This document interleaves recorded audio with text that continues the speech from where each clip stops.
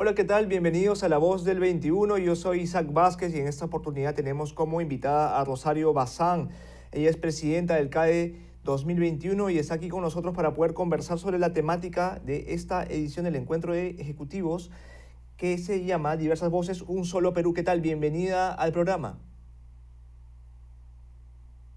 Eh, ¿Cómo estás, Isaac? Buenos días. Mi saludo desde Trujillo, ese lugar donde, donde vivo y desarrollo mis actividades empresariales. Pues bien, muchas gracias por estar aquí con nosotros. Eh, sí tenemos entendido pues, que usted es una empresaria que, que se ha forjado en realidad desde, desde el norte, en el norte mejor dicho, y que ha sido pues, eh, reconocida en varias ocasiones y eso le ha llevado a estar aquí en realidad de, al frente de, esta edición del CADE, ¿no? en un contexto bastante eh, peculiar como retador también, ¿no? por diversos aspectos. ¿no? Y me gustaría conversar, eh, hablando por ahí, ¿no? Esa temática del CADE, diversas voces, un solo Perú, nos hace a todos los peruanos pensar de pronto que estamos ante un escenario bastante eh, retador, no solamente por la pandemia, sino también por un contexto bastante delicado en, materia política, en materia económica y, de cierta incertidumbre. ¿no? ¿Cuál es el principal reto que asumimos eh, todos en el CADE y que también asume el empresariado peruano en, esta, en este encuentro anual de ejecutivos? Bien, eh, Isaac, gracias por tenerme en tu programa en, el rol que, y desafío que tengo este año presidiendo a CADE 2021, eh, CADE del Bicentenario. Eh, todos sabemos las múltiples crisis que atraviesa nuestro país. Eh, crisis sanitaria, social, económica, política y, de valores.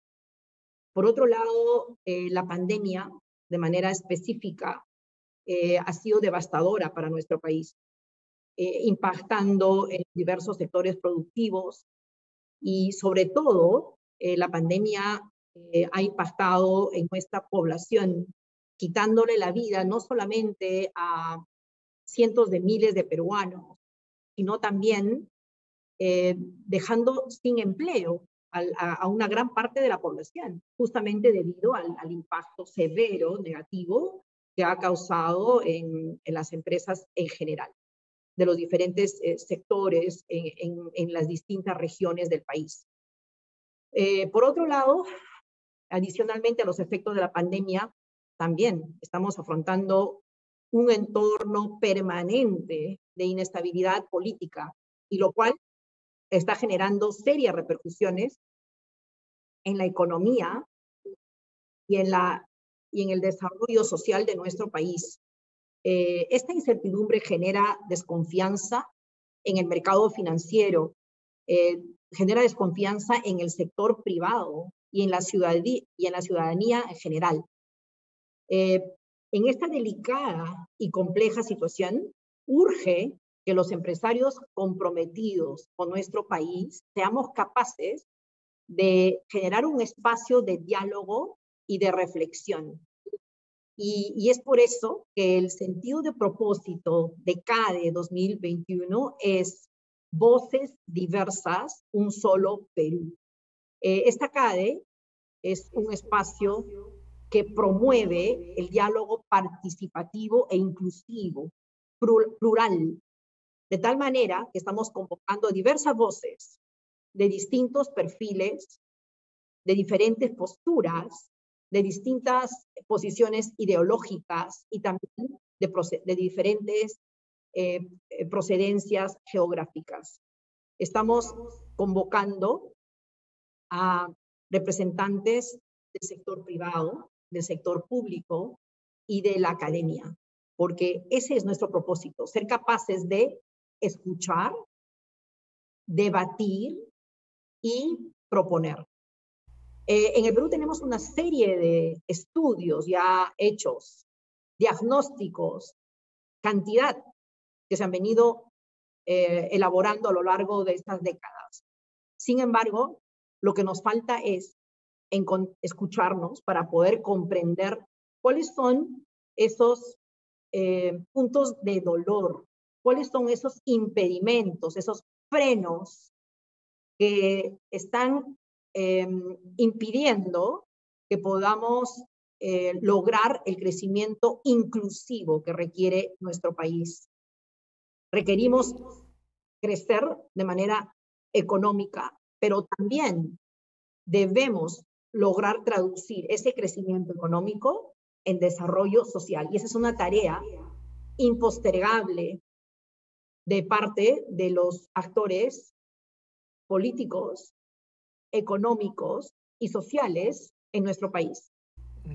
Entonces, de eso se trata eh, esta CADE, es un evento que trasciende al, al ámbito em, que, que, nos conecta con la, eh, con la coyuntura, que nos conecta con la realidad de los eh, distintos grupos de interés en, en, en, el país para poder debatir, escuchar estas distintas posiciones y sobre todo, en base a las propuestas que ya existen, poder identificar cuáles de ellas son las que deben traducirse en políticas públicas para poder impactar en la calidad de vida de la población y en la competitividad del sector privado, en la, en la competitividad de las pequeñas, medianas y grandes empresas y por ende en la competitividad de nuestro país. Hablando de políticas, eh, justamente ahora que lo, que lo menciona y era algo que quería eh, preguntarle hace, hace unos segundos, hace pocos años eh, y en realidad ocasionalmente ha habido críticas, especialmente de ediciones pasadas, ¿no? ya de, hace varios años del, CAE, respecto a que en realidad había muy buen debate, habían debates muy, muy nutridos, de, de, alta calidad por la misma participación de los, de los ponentes, ¿no? de los participantes, pero que no se traducía o se materializaba necesariamente en, políticas, ¿no? que llegasen hasta, hasta el Ejecutivo. Sin embargo, luego comenzó a verse un, avance al respecto. ¿no? Incluso se llegó a materializar, a materializar, por ejemplo, el caso del Plan Nacional de, Competitividad, ¿no? que aterrizó y que bueno, eh, siguió un camino más allá de, las, digamos, de, los aciertos o mejoras que pudiesen darse eh, por, por un lado. ¿no? Pero el tema es que se aterrizó en ese aspecto. En este caso, ustedes van a tomar alguna acción para materializar justamente el debate que se dé en unas semanas, en unos días? La, importancia de este, de este espacio en CAE 2021, eh, Isaac, es en primer lugar por lo menos poder entender eh, cuáles son esas problemáticas eh, sociales que deben priorizarse. necesitamos un, un espacio de, que, que, que, nos permita escucharnos, eh, porque de lo contrario estamos de espaldas a lo que realmente está ocurriendo en las diferentes regiones, en los diferentes sectores de, nuestro país. Esa es la razón por la que estamos invitando a esta CADE eh, representantes del sector eh, público, de las diferentes instancias gubernamentales, locales, regionales, nacionales, y también representantes varios del sector privado, tenemos a emprendedores, empresarios de pequeñas, medianas eh, y grandes empresas, representantes de gremios, eh, instituciones en general, y, también, por supuesto, representantes de los trabajadores. Eh, este, CADE, este CADE debe ser inclusivo porque es la única forma de entender cuál es esa realidad que nos está impactando. Entonces, ese es un primer gran punto, el hecho de escucharnos. ¿Por qué? Porque el Perú está muy fragmentado, está sumamente polarizado.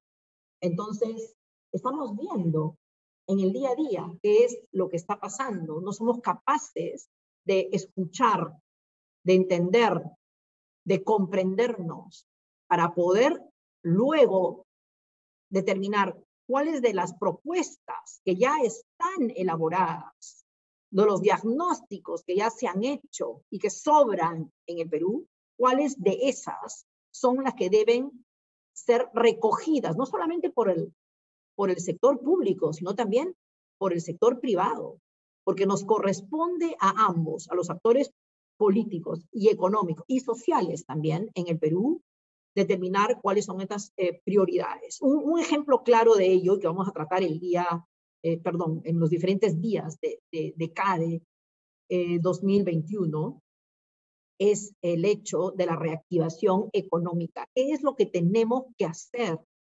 Y, claramente, siendo el sector empresarial el protagonista principal de la, del crecimiento económico y de la generación de empleos, vamos a, a hacer propuestas de qué es lo que tenemos que hacer.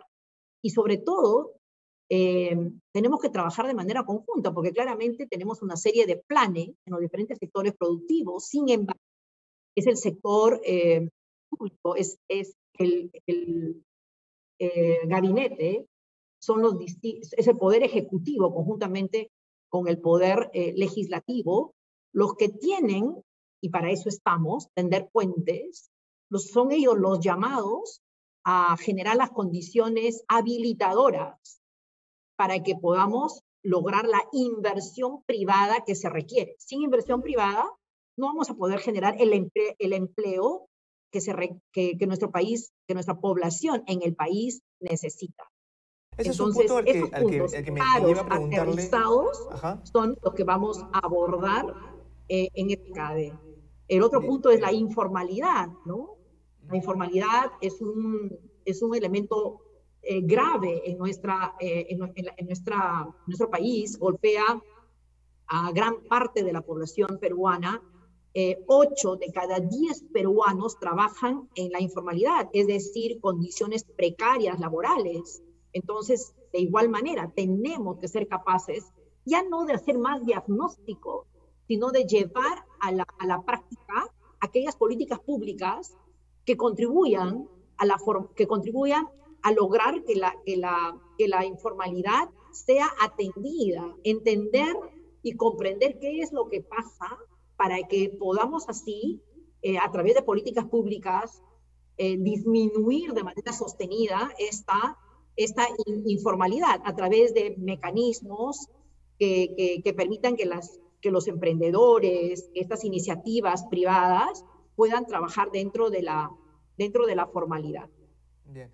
Siento interrumpirle ahí, pero eh, justamente el tema de la informalidad y el tema del empleo son, digamos, dos factores eh, críticos, por así decirlo, en la recuperación eh, económica, porque si bien el tema de la producción en sí de, varios sectores ya viene recuperándose a un paso, no a niveles de la prepandemia, pero ya cercanos, el caso de la calidad del empleo es, es la situación es muy diferente, ¿no? Y eso, y eso es, es, es bastante sabido.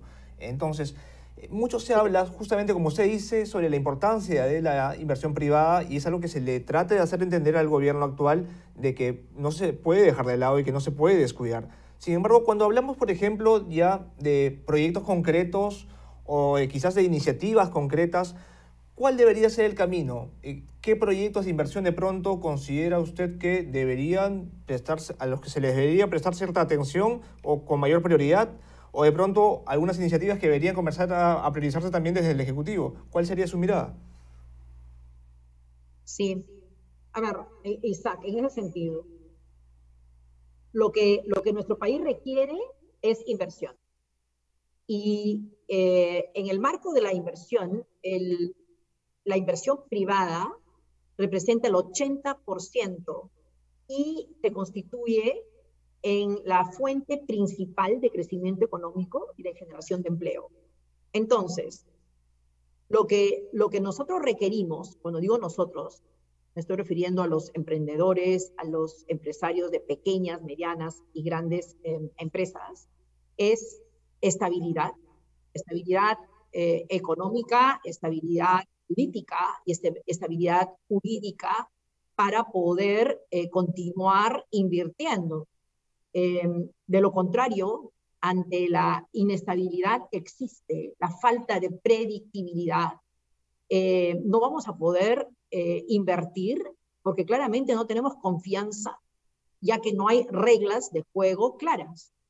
eso es fundamental decirlo. El hecho de que se esté reactivando de una u otra manera los sectores productivos no significa que la inversión eh, la inversión se esté ejecutando, la inversión, el nivel de inversión privada se esté ejecutando este año, eh, porque claramente no tenemos una perspectiva clara de lo, de la, respecto a las, las medidas y a las agendas que tiene el Ejecutivo respecto a la inversión privada. Entonces, ese es un punto que tenemos que, recalcar. Em, ahora, respecto a qué proyectos de inversión, a nivel, eh, en el ámbito público es eh, fundamental que el, el gobierno se enfoque en ejecutar la inversión social.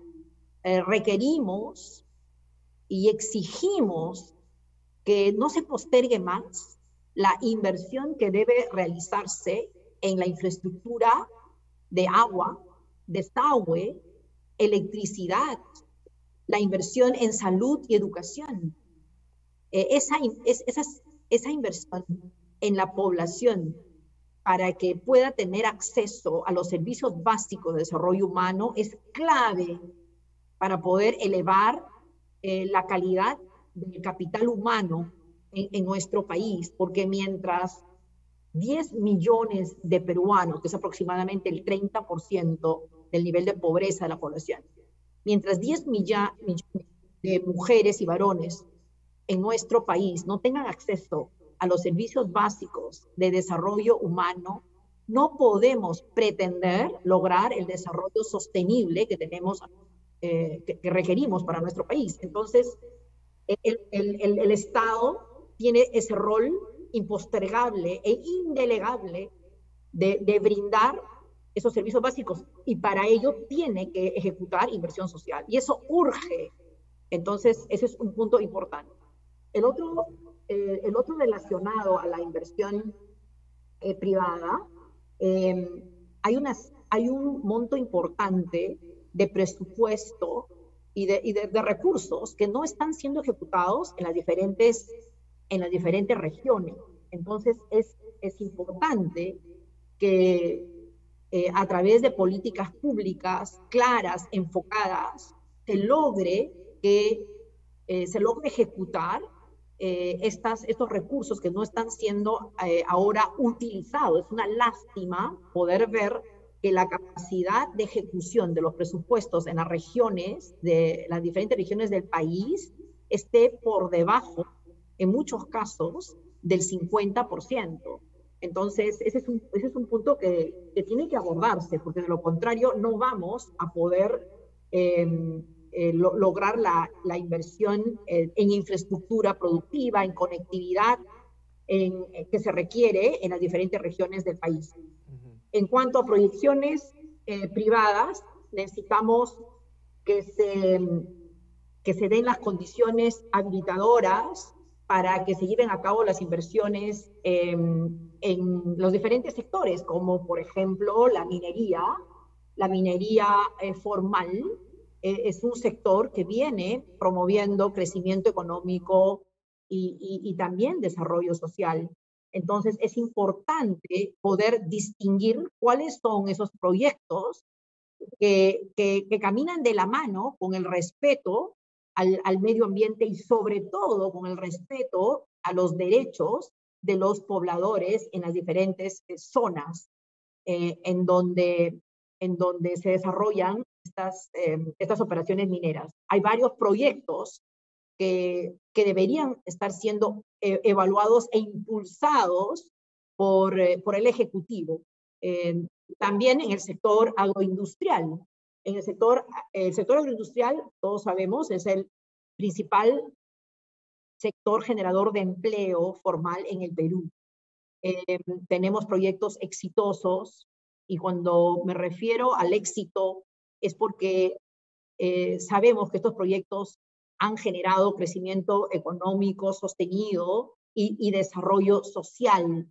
Eh, la pobreza en el Perú eh, ha disminuido de manera estructural en las últimas décadas debido justamente a la generación de empleo, de empleo digno, de empleo formal, y en gran parte el sector agroindustrial eh, ha generado eh, un número importante de estos, de estos puestos de trabajo, sobre todo por la incorporación de la mujer en el mercado laboral formal, como lo han hecho también otros sectores productivos en el país. Em, entonces, es importante poder impulsar el proyecto MAGES, SIWAS, en Arequipa. ese, proyecto, de todas maneras, va a no solamente reactivar la economía, sino sobre todo va a lograr que el sector agroindustrial eh, amplíe sus fronteras agrícolas y, pueda y se pueda diversificar aún más el portafolio de productos que ahora nos permiten posicionarnos en los principales mercados del mundo y sobre todo traducir ese crecimiento en el desarrollo social, toda vez que estos sectores en, el Perú, estos sectores productivos que han venido generando crecimiento económico eh, en el Perú se han convertido en motores eh, de desarrollo descentralizado también. Y por supuesto, em, todos los proyectos que, que, tienen que ver nuevamente con la conectividad es fundamental que, que se construya, que se construyan eh, proyectos que tienen que, que ver con, la reducción de costos logísticos, necesitamos eh, por lo menos un aeropuerto más en el Perú. Ahora todas las exportaciones eh, que se desarrollan vía aérea tienen que, tienen que, hacerse por Lima. No, no, podemos ser un país de un solo aeropuerto internacional. Por otro, por otro lado, también requerimos de, puertos em, en, la, zona, en la zona sur, eh, de tal manera que podamos ser más eh, competitivos. Por otro lado, a nivel de las carreteras, de igual manera, carreteras de penetración que permitan justamente que la agricultura familiar y también los otros sectores productivos puedan tener acceso al mercado eh, siendo competitivos. actualmente vemos de que no existe la conectividad que se, que se requiere, eso dificulta muchísimo en general a la población rural y sobre todo a la población de la selva. Entonces, estas, estas situaciones eh, complicadas que restan productividad y competitividad a nuestra población, vamos a, abordarlas en esta CADE porque eh, tenemos bloques en donde especiales en donde vamos a escuchar las distintas voces de la región norte, sur, del centro, del oriente y, de Lima. Y justamente de eso se trata, poder identificar cuáles son las prioridades que, tenemos en las diferentes regiones y desde las regiones tener esa perspectiva del, del desarrollo de nuestro país para que puedan ser atendidas por el gobierno. Otro elemento, Isaac, que es clave es la inversión en la educación. no es posible que la educación en el Perú eh, no esté eh, siendo tomada en cuenta con la urgencia que se requiere, eh, toda vez que la educación es el, es el eje principal para el desarrollo de nuestro país Em, con la desatención que está teniendo la educación, estamos impactando de muy seriamente em, a, los niños, a los, a los jóvenes, porque estamos eh, restándole a su capital humano las capacidades y las posibilidades para su desarrollo a futuro.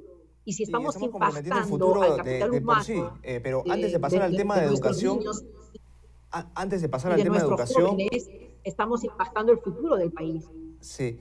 Antes de pasar al tema de educación, me gustaría pedirle una, una precisión eh, respecto a lo que me venía comentando sobre justamente eh, la visión que hay, ¿no? la visión empresarial del, del pequeño, del mediano empresario eh, de las regiones. ¿no? Muchas veces la mirada está centrada justamente en, en Lima y muchas veces los peruanos también quizás no amplían el horizonte y no llegan a ver en realidad que eh, para hacer empresa, para generar empleo ¿no? y generar también a, través del empleo pues, eh, bienestar, eh, hace falta dar una serie de contextos que sean favorables justamente para la actividad económica en muchas ciudades del país, no solamente en la capital. y para eso me gustaría tener una experiencia un poco más personal desde, desde su lado, porque usted como empresaria, eh, según tengo entendido, usted es de Trujillo y si no, corríjame eh, por favor si me equivoco. ¿Es, así? ¿Qué fue lo último que me dijiste? Le, le preguntaba si, si usted es de Trujillo, ¿usted, ¿usted nació en Trujillo? No, yo soy celendina. Yo nací en Celendín. Celendín es una Em, provincia de Cajamarca. No sé si tú has escuchado. Sí. Y, esa es la realidad, te das cuenta. O sea, no conocemos mucho de, lo que ocurre en las, en las provincias de las distintas regiones del país. Yo soy celentina, eh, crecí en Celendín y, viví hasta los nueve años y luego eh, vinimos con mi familia a, Trujillo, ¿no? Entonces, eh, conozco bien la realidad de, la vida en las, en las provincias y tanto de la sierra como de la costa. Y la idea nuevamente, el sentido de propósito de esta CADE es, es ello, poder eh, conocer la, la, realidad de los emprendedores, de los emprendedores sociales, de los emprendedores económicos de las diferentes provincias y regiones del país. Entonces, peruana, justamente quería redondear ahí la pregunta, eh, y como empresaria eh, justamente eh, peruana del norte, justamente, digamos, de una, de una ciudad que literalmente para muchos peruanos de pronto no encaja de manera exacta en el ideario de una persona que de pronto comienza a hacer empresa, muy probablemente pues en la, en la capital o en Arequipa, una ciudad de pronto que está mucho, mucho más cercana a la actividad económica masiva como tradicionalmente se, se conoce. Eh, pero en este caso, ¿cuál ha sido el principal impedimento que usted ha identificado, por ejemplo, en toda su experiencia, ¿no? para hacer empresa? ¿Cuál ha sido el principal problema que usted ha podido o que puede recordar en todo caso? Acá en Trujillo te refieres. Así es. Bueno, em, sí, en la década del 90, eh, cuando em, estaba yo empezando em, mi actividad empresarial, eh, claramente teníamos una serie de problemas. Eh, recuerda que era la época del, terrorismo, eh, altísimo nivel de pobreza, eh, conflictos permanentes, no teníamos acceso al, crédito, la, la, agroindustria era incipiente. Entonces, es allí cuando cofundé Damper conjuntamente con, con mi esposo y nuestros, nuestro socio danés. Entonces, teníamos todo en contra y, sin embargo el, el, propósito era siempre claro, el propósito era hacer las cosas bien hechas y em, nuevamente la, la, el nivel de competitividad de la industria era, era baja. Eh, no teníamos eh, sistema de, sistemas de, de, calidad que garantice la, la calidad y la de nuestros productos a fin de poder llegar a los principales mercados del mundo. Entonces, eh, digamos, allí eh, uno, uno, de los impedimentos era, era, era ese, el conocimiento. Em, entonces, ¿qué es lo que hicimos? Eh, no esperamos que el gobierno nos, nos capacite. Eh, lo que hicimos como empresarios peruanos, em, comprometidos con el crecimiento económico, el desarrollo social de nuestro Perú, fue prepararnos. Y, y no, no era fácil, sin embargo nos esforzamos muchísimo eh, viajamos a, a, Estados Unidos para preparar, en, en, mi caso, eh, viajamos eh, a Estados Unidos conjuntamente con, el, la, la, persona encargada de, de, las operaciones industriales para poder entrenar, entrenarnos en todo lo que teníamos que conocer, de tal manera que nuestros estándares de, de calidad eh, sean eh, apreciados y sean una garantía para los principales clientes en el mundo. Eso logramos, fuimos la primera empresa en, en lograr la certificación HACCP, que es el sistema de, de inocuidad alimentario. Eh, bueno, a partir de allí, la verdad que siempre han habido impedimentos distintos. necesitábamos diversificar nuestra, nuestro portafolio de productos y no sabíamos cómo hacerlo. Em, eh, muy, poca, muy poca información y soporte por parte de las instituciones públicas respecto a la, a la transferencia tecnológica. No sabíamos cómo se hacía la alcachofa, no sabíamos cómo se hacía el pimiento y tampoco teníamos información eh, eh, en el Perú, eh, en ninguna institución. Entonces tuvimos que viajar a, las ferias, viajar a los diferentes países, poder aprender. Y, y nuevamente aprendimos cómo hacer em, hortalizas finas. Ahora, después de casi 25, después de 25 años, mira, en, la en, la década de 90 y el año 2000 recién empezamos a aprender a hacer alcachofa. Eh, actualmente, Isaac, nos hemos convertido en, la, en el principal productor y exportador de alcachofa en el mundo. Entonces, lo mismo en espárrago. Eh, nuevamente, impedimentos de diferente índole. A nivel de la conectividad, igual tenemos que llevar cada uno de nuestros productos hacia eh, Lima o hacia Paita para poder eh, exportar. La conectividad es pobre, nosotros queremos diversificarnos más y sin embargo no podemos lograr acceder a una serie de, agricultores que están dispuestos a hacer agricultura moderna pero que es, es, es, es difícil, imposible ahora, porque simplemente no existen los caminos, no existen las carreteras eh, para poder llegar a ellos. Eh, número uno. Número dos, tampoco tienen agua. Ahora que, estamos hablando sobre la importancia que el gobierno y, y, el Ejecutivo en general le debe dar a la, a la agricultura familiar, eh, es, es, es clave que se considere el, la, el acceso de, los agricultores al agua, porque, pueden, porque claro, tienen tierras, pero ¿de qué sirve la tierra si no pueden em, cultivarla con agua? Entonces, ese es otro punto, conectividad, el agua y, transferencia tecnológica. Em, en el sector agroindustrial, hemos venido trabajando las empresas agroindustriales de manera muy estrecha, en el caso particular de la empresa que que, lidero, eh, trabajamos con cadenas productivas en la costa, sierra y también en la selva del Perú. Eh, así como la empresa que lidero, hay varias empresas eh, en el Perú que, que, estamos trabajando, incorporando nuestra cadena de valor a, a miles de pequeños agricultores. Calculamos que deben ser actualmente más de 15 mil Em, agricultores pequeños provenientes de la agricultura familiar que están incorporados en nuestra cadena eh, de valor y eso permite que puedan crecer de manera sostenida.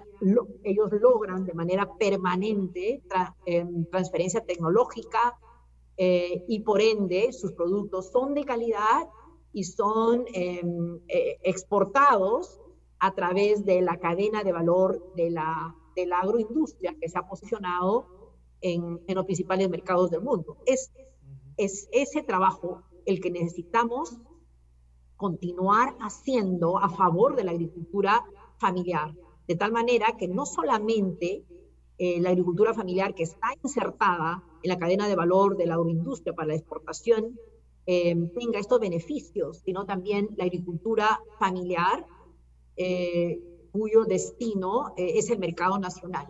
Eh, hay mucho para hacer y en el sector privado tenemos la, la, la, capacidad para poder participar en alianzas público-privadas eh, en este propósito de elevar los estándares de, de, producción y también de, de, de competitividad de, de la pequeña agricultura.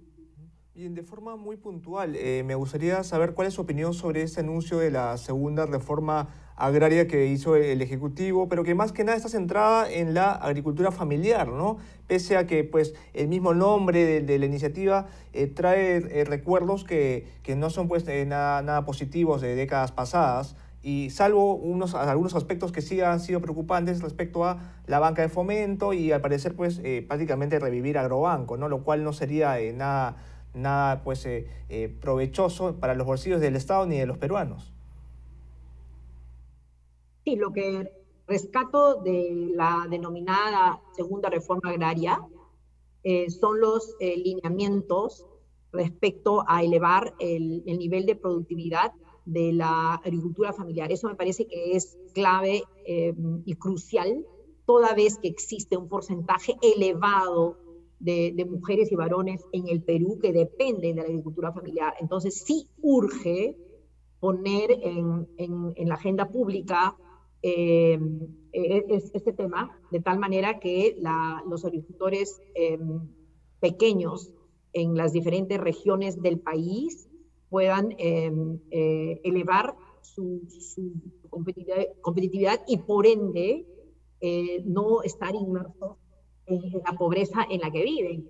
Entonces eso me parece que es importante. Y no solamente elevando sus estándares de, la calidad de sus productos, sino también que el, el, el, Ejecutivo invierta en los servicios básicos de desarrollo humano que nuestros agricultores, en general, los pequeños agricultores, eh, requieren en el, en el país. Ahora, hay, otras, hay otros lineamientos que se han dado en la en la denominada segunda reforma agraria, que sí tienen que ser em, em, evaluados de manera cuidadosa para que no se impacte negativamente en, en el sector, en la capacidad del sector exportador en general. Eso me parece que, que, es clave hacerlo, em, porque, digamos, no vamos a, de ninguna manera a, retroceder en todos los temas que ya hemos avanzado, sino al contrario, es clave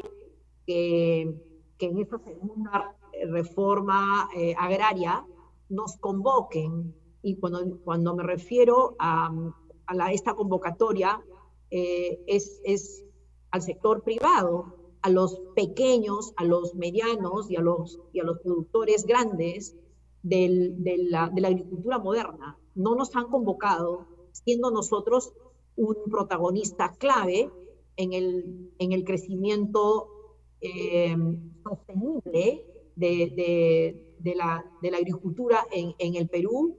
Eh, de, todas maneras, tenemos que ser eh, convocados y hemos enviado nosotros cartas al, al ministro de Agricultura, de tal manera que podamos nosotros contribuir con, con nuestra experiencia en, lograr que la pequeña agricultura avance y sobre todo que no se afecte en absoluto a la, capacidad exportadora eh, actual del Perú. Bien, y ya para finalizar, eh, hace poco el ministro de Economía, el señor Pedro Franque, eh, se refirió a la reforma tributaria que, que buscan, que están evaluando en el Ejecutivo dijo que no iba a ser para todas las empresas, ¿no? Hizo una, una alusión incluso a que estarían evaluando si es que eh, se puede subir el, impuesto especial a la minería, que una actividad que de por sí ya está bastante grabada, pero que ellos parece que todavía tienen planes de hacer un incremento de gravamen. Eh, ¿Qué opinión le genera a usted eh, este tipo de, comentarios? Bueno, en realidad, Isaac, el, ministro Franque, así como el Ejecutivo, deben enfocarse en aquellos temas que son prioritarios para, para el Perú. Y, uno de esos temas prioritarios es generar condiciones habilitadoras que promuevan la inversión privada responsable.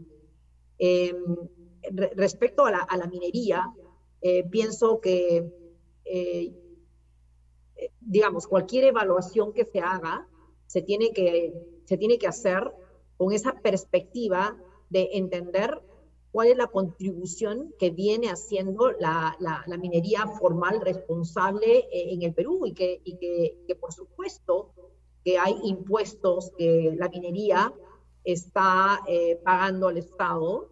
El problema no es eh, la tasa tributaria, el problema es que la minería cumple con el pago de los, de, los, de los impuestos. Sin embargo, em, esta cantidad de dinero que ingresa al fisco no está siendo bien utilizado, no está siendo bien utilizado por eh, las instancias de los gobiernos locales, regionales y también nacionales.